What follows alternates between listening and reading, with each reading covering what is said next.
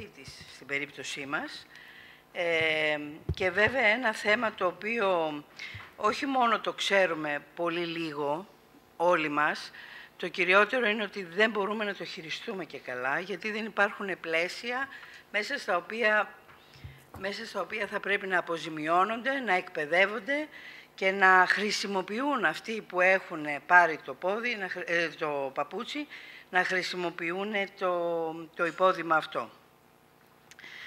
Ε, εγώ θα ήθελα να κάνω μια ερώτηση.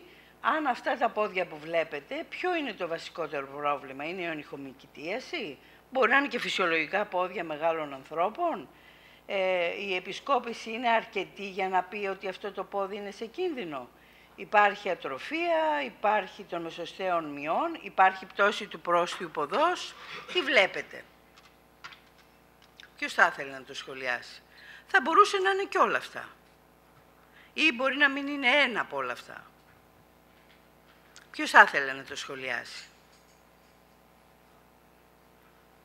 Ε, λίγο θάρρος από το ακροατήριο, αλλιώς προτείνετε εσείς, κυρία Ηρακλιανού, κάποιον. Ωραία. Ε, να διαλέξω με το Άμπε Παμπλόμ την κυρία, την κυρία Μάρκο.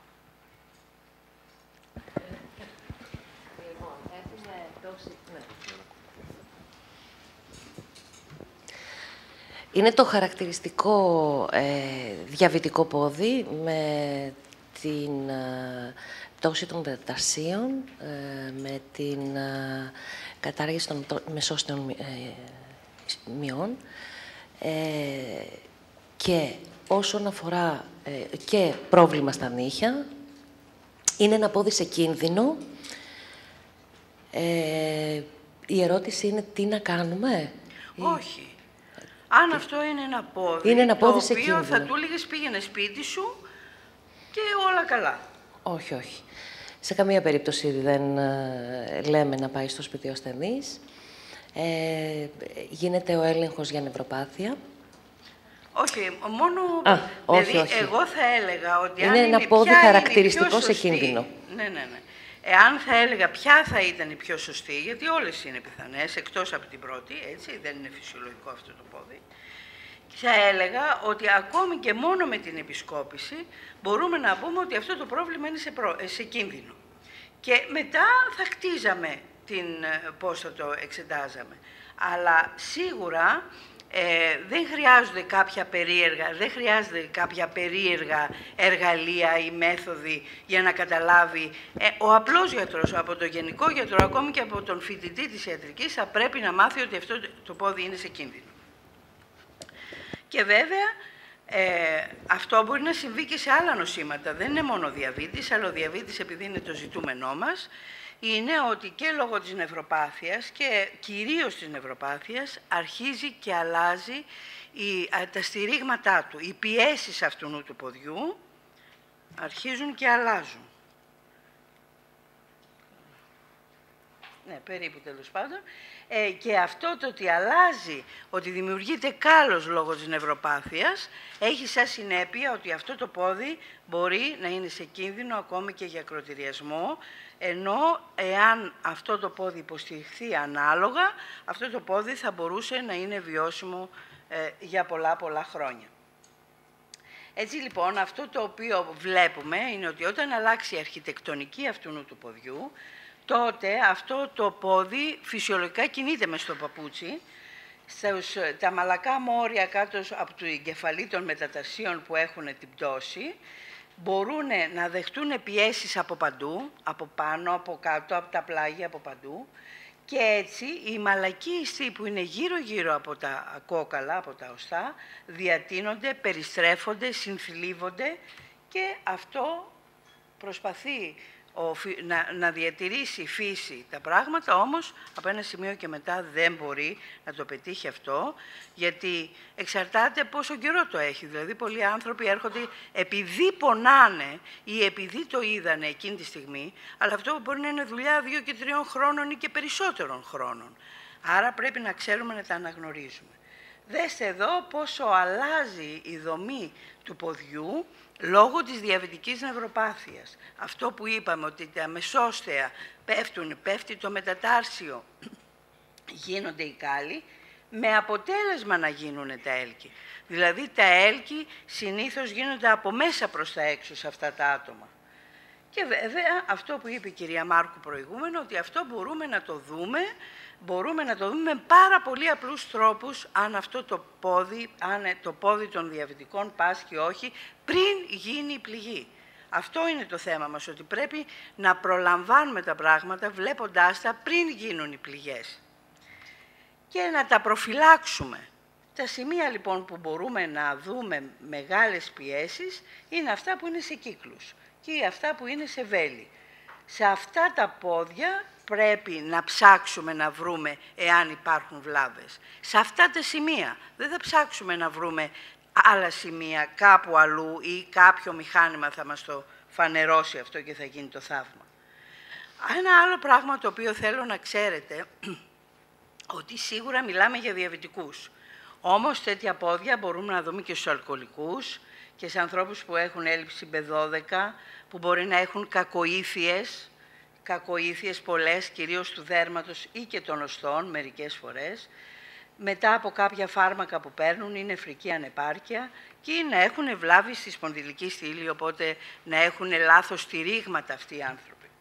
Συγγνώμη, έτσι, κυρία λοιπόν, Ηρακλιανού, ε, απλά δεν αποκλείεται να έχουν και τα δύο, έτσι, να είναι ένας ναι, διαβητικός ναι, ναι, ασθενής και να και αυτά. Αυτό λέω, και αυτά. δηλαδή ένα πράγμα το οποίο θα σκεφτόμαστε δεν είναι μόνο τη λέξη διαβήτης, αλλά ότι υπάρχουν και συνοσυρότητες από άλλα νοσήματα που μπορούν να προάγουν αυτές τις, αυτές τις βλάβες.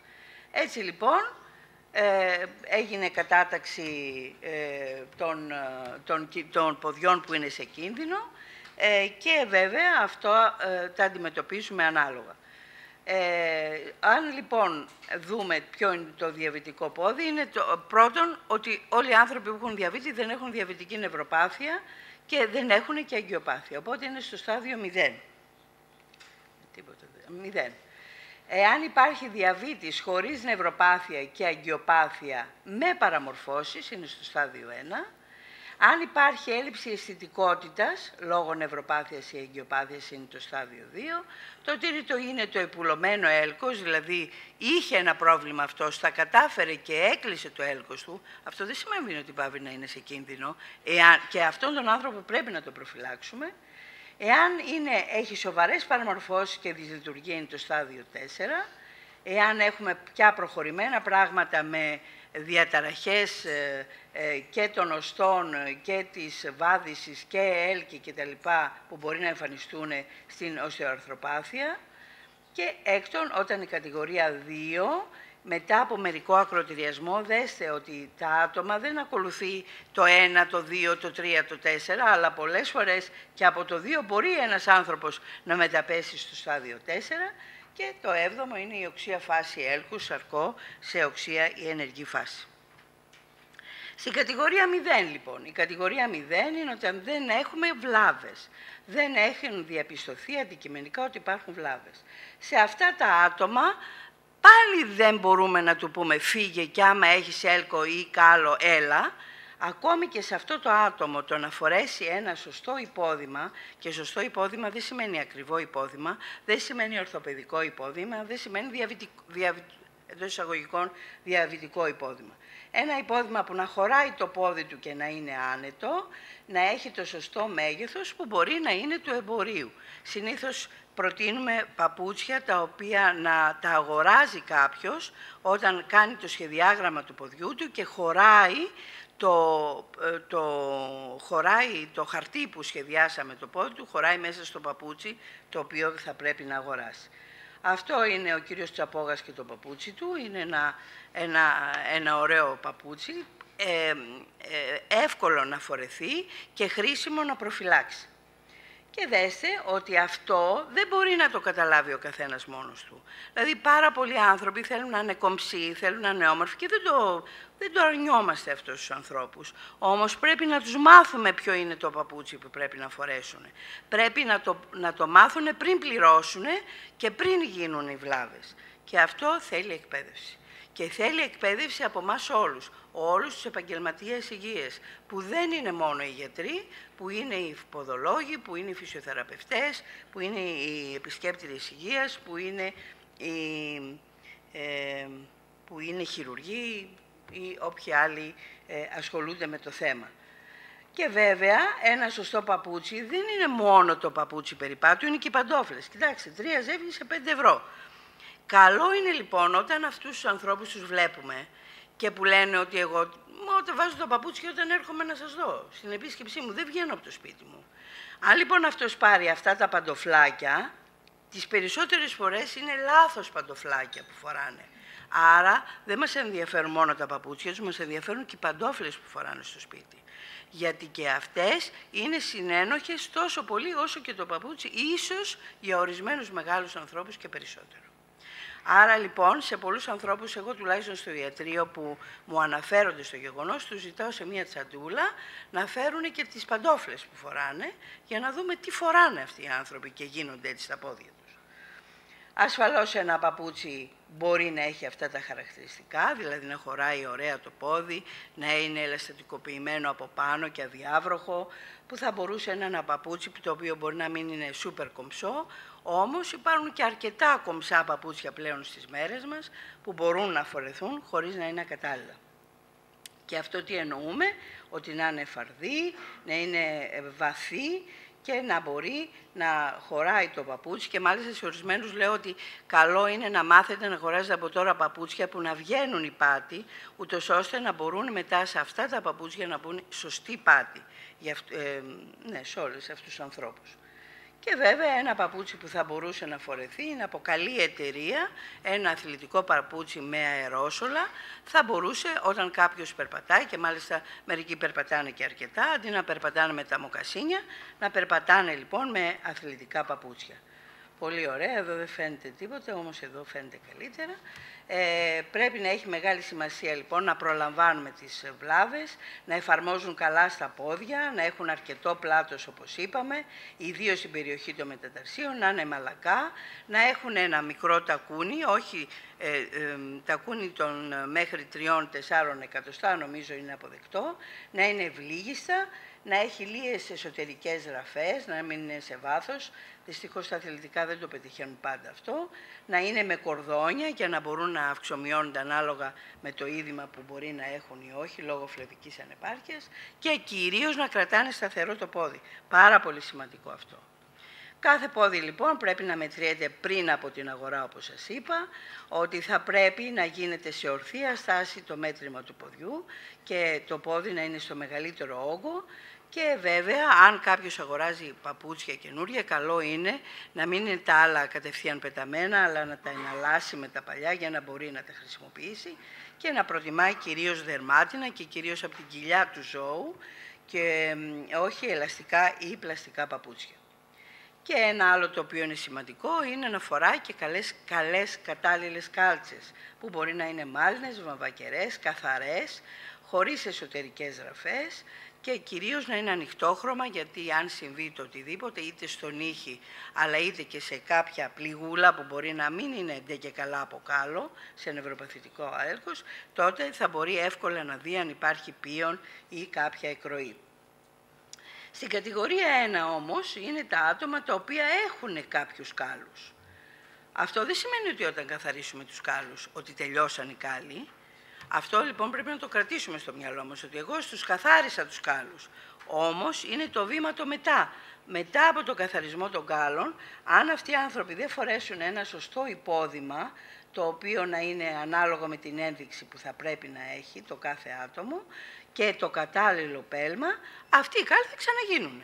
Εκτός αν θέλουμε κάποιους ανθρώπους να πηγαίνουν άρχονται μέχρι να κάνουν το έρκος και να, να έχουν μετά άλλου είδους τρεχάματα.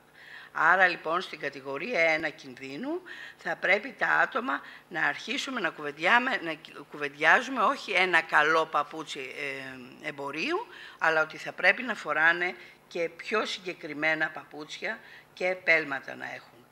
Στην κατηγορία 2 είναι ότι έχουμε απώλεια της αισθητικότητας και μπορεί να έχουν πληγές που να μην τις καταλαβαίνουν, τότε αυτοί θέλουν μεγάλη αποφόρτιση για αποφυγή εξέλκωσης και ακροτηριασμού, που είναι πάρα πολύ σημαντικό και πολύ πιθανό να γίνει σε αυτά τα άτομα, γιατί δεν έχουν αισθητικότητα. Φαντάζομαι τις προηγούμενες μέρες σας έχουν πει ότι, ε, ότι βρίσκουν, ότι γίνονται πληγές με διάφορα ξένα αντικείμενα που υπάρχουν μέσα στα παπούτσια, τα οποία έτσι κι αλλιώς πρέπει να ψάχνονται συνέχεια. Έχουμε λοιπόν απώλεια της αισθητικότητας, ότι θα πρέπει να υπάρχουν εξατομικευμένα πέλματα, παπούτσι φτιαγμένο για αυτούς τους ανθρώπους, και βέβαια δεν θα ξεχνάμε ότι πρέπει να συνεπάρχει, αν συνεπάρχει ορθοπαιδικό πρόβλημα που πολλοί άνθρωποι έχουν, ή παχυσαρκία ή έχουν κάποιο συγκεκριμένο επάγγελμα που μπορεί να φοράνε και σιδερένια παπούτσια μπροστά κτλ. Ότι θα πρέπει να έχουμε υπόψη μας ότι μπορεί να έχουν επιπλέον πιέσεις, τις οποίες μπορεί να μην τις καταλαβαίνουν, αλλά πρέπει να πάρουν ένα ειδικό υπόδημα. Στην κατηγορία 2 λοιπόν το υπόδημα πρέπει να είναι με αυτή τη μορφή, θα πρέπει να έχουμε στήριξη της ποδοκνημικής, μπορεί να υπάρχει και ανισοσκελία και να έχει και προβλήματα βάδισης, άρα πρέπει να έχει κάποιο πιο συγκεκριμένο παπούτσι. Και δέστε ένα παπούτσι, το, ε, κάποια πόδια τα οποία έχουν σημαντικά προβλήματα στα μετατάρσια, και πρέπει να δίνετε ιδιαίτερη προσοχή στην αγορά αυτών, γιατί πολλά άτομα έχουν και άλλου είδους προβλήματα, δηλαδή έχουν ένα μεγάλο δάχτυλο ή ένα βλεσό ρεβό άκρο να προβάλλουν κεφαλές των μεταταρσίων ή να έχουν μεγάλη ποδική καμάρα. Και αυτό τα παπούτσια πρέπει να γίνονται το απόγευμα. Ένα άλλο πρόβλημα το οποίο είναι σημαντικό και στις μέρες μας λύνεται και χειρουργικά, αν εφηπεύει ο μεγάλος δάκτυλος για να μην κάνει έλκος και από την πάνω επιφάνεια. Τα έλκη δεν γίνονται μόνο στην ε, πελματιαία επιφάνεια του άκρου ποδός, γίνονται και στην ε, παραπάνω πάνω επιφάνεια. Άρα λοιπόν πρέπει να έχει πολύ συγκεκριμένο σχέδιο το παπούτσι που θα πάρει. Θα πρέπει να έχει ε, ε, από εκεί που θα το πάρει να έχουν μεγάλη εμπειρία και να ξέρουν πώς αυτό το παπούτσι θα είναι φτιαγμένο για εκείνον. Ε, δυστυχώς στην Ελλάδα δεν υπάρχουν πολλά τέτοιες, πολλές τέτοιες εταιρείες. Υπάρχουν τρεις-τέσσερις εταιρείες και από εκεί και πέρα υπάρχει ο έμπορος. Ο έμπορος παπουτσιών, ο οποίος το χειρίζεται ανάλογα το θέμα για να πάρει και χρήματα και να δώσει και όχι κατάλληλο παπούτσι. Γι' αυτό νομίζω ότι και η εταιρεία του διαβητικού ποδιού αλλά και η ελληνική διαβητολογική εταιρεία έχουν δώσει πιο συγκεκριμένα πράγματα. Δηλαδή το παπούτσι να είναι βαδθή, να είναι φαρδί μπροστά, να μην πιέζει πουθενά, να είναι σχετικά ελαφρύ, πράγμα το οποίο είναι ένα μεγάλο πρόβλημα γιατί πολλοί δεν τα φοράνε γιατί είναι βαριά και άκαμπτα παπούτσια. Οι σόλες πρέπει να απορροφούν τους κραδεσμούς, να είναι διαπερατό, να ερίζεται το πόδι, να είναι καλής ποιότητας δέρμα και εσωτερικά τα πέλματα, τα εσωτερικά πέλματα πρέπει να φερούνται και να παίρνει το κατάλληλο ε, πέλμα. Ελάχιστα κριτήρια λοιπόν που πρέπει να διατηρούνται είναι το ύψος και το φάρδος του παπουτσιού. Σας το δείχνω λιγάκι πιο αναλυτικά, έτσι, γιατί επειδή αυτοί οι άνθρωποι δεν έχουν αισθητικότητα, μπορεί να φοράνε ένα πολύ στενό παπούτσι και να λένε είναι άνετο, είναι μια χαρά παπούτσι αυτό που φοράω. Άρα λοιπόν ότι πρέπει να έχει αυτή την, το χαρακτηριστικό, πρέπει να μην έχει ραφές, να είναι από μαλακά υλικά και τα δάχτυλα να μην πιέζονται από το υλικό που καλύπτει το πρόστιο και άνω τμήμα του υποδήματος. Ανεξάρτητο πέλμα μεγάλης αποφόρτισης, ότι πρέπει να μειώνονται στην περιοχή των μεταταρσίων. Συνήθως με τα πελματογραφήματα φαίνεται πλέον και επειδή υπάρχει και η ηλεκτρονική βοήθεια έντονα, φτιάχνονται καλύτερη πάτη, αλλά όχι από όλους. Και κλινικά δοκιμασμένο αυτά τα παπούτσια. Η κατηγορία λοιπόν 3 είναι με ένα ιστορικό έλκους, ε, για το οποίο θα αναφερθεί λεπτομερώς ο κύριος ε, Τσαπόγας. Ε, και βέβαια αυτό το παπούτσι θα πρέπει να είναι ακόμη πιο ειδικό, να έχει πολύ χαρακτηριστικά. Εδώ επιβάλλεται το περματογράφημα και βέβαια εξακολουθούμε να λέμε και τις κάλτσες και αυτό συνεχίζει να το υποστηρίζει και το, και το ΆΝΤΑ και το ESD και η ΕΔΕ ότι οι επιπλοκές και τα έλκη μπορούν να αποφευχθούν με την κατάλληλη εκπαίδευση, φροντίδα, παρακολούθηση και επαγρύπνηση. Τους ανθρώπους που έχουν ε, προβλήματα με τα πόδια τους υπάρχουν γιατροί που ακούν, συνταγογραφούν τον διαβήτη και δεν έχουν δει ποτέ τα πόδια τους. Άρα λοιπόν το πρώτο και το κύριο είναι να δούμε τα πόδια τους και να τα ξαναβλέπουμε τα πόδια τους και να τους μαθαίνουμε πώς να αγοράζουν σωστά υποδήματα για να μην φτάνουν σε ακροτηριασμούς. Αυτά είχα να πω.